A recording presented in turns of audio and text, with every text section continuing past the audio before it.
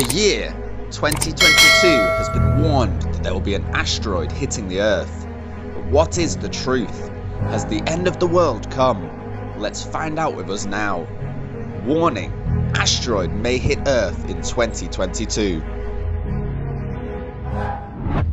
The US Space Agency, NASA, defines meteorites as rocks in space that are smaller than planets, sometimes called asteroids. Some call them space junk, or leftover pieces from the formation of the solar system. This is a natural object from outer space and impacts the Earth's surface. When it's in space, it is called a vane. When meteorites from outer space fall into the Earth's atmosphere, the compressive pressure causes the meteorite to heat up and emit light, possibly burning the outer layer.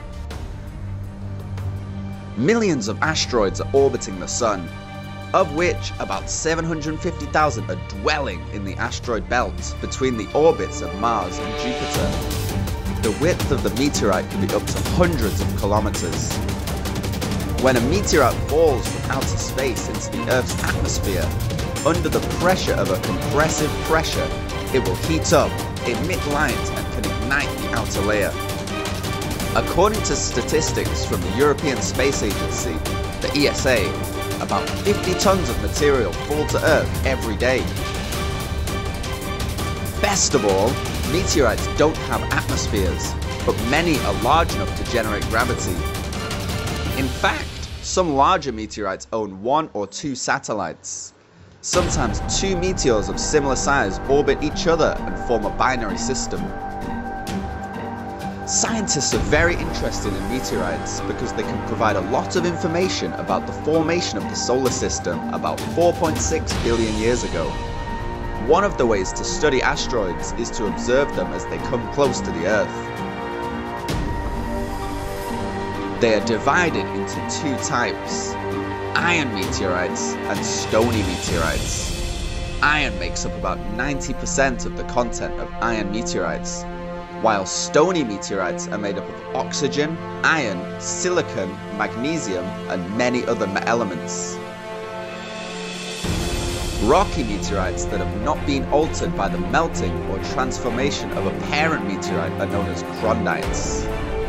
Usually, when a meteorite rushes and hits the surface of a planet or asteroid, it leaves on the surface of that planet traces of impact. We can clearly see NASA's images from space of hits of the moon because there is no wind here or on Mars.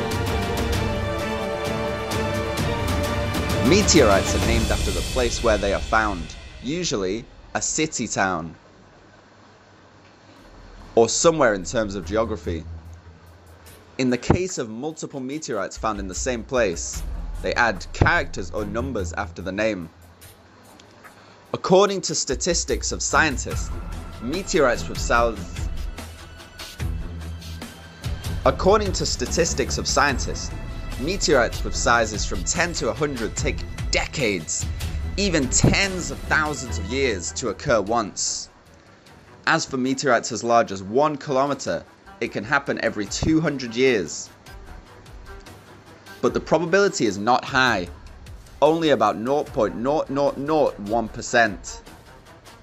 As for meteorites with a diameter as large as 10 kilometers, it takes about 10 million years or even 100 million years to occur just once. There are many places in the world where traces of meteorite impacts have been found. As of mid 2006, there are about 1,050 meteorite cycles from these impacts, and there are about 31,000 recorded meteorites. In 2022, NASA warned that an asteroid could hit the Earth.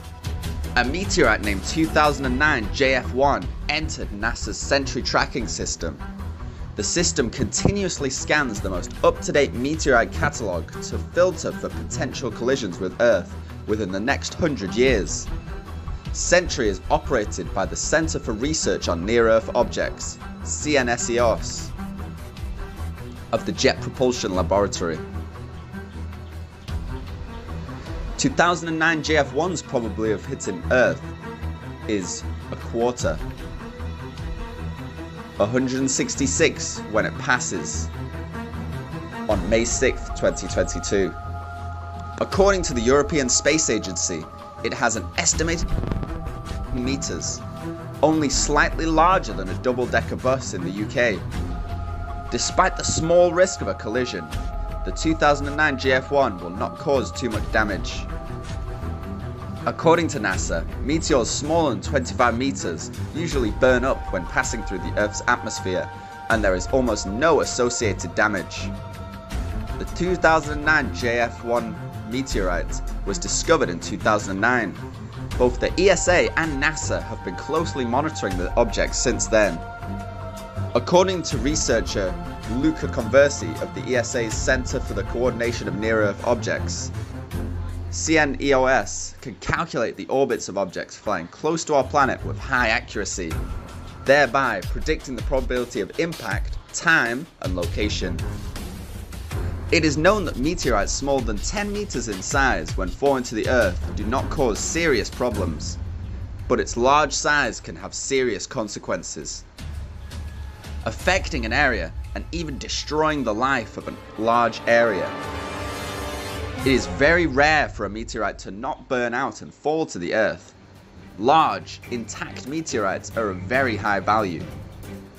Each meteorite is unique, so they are often purchased for collectibles.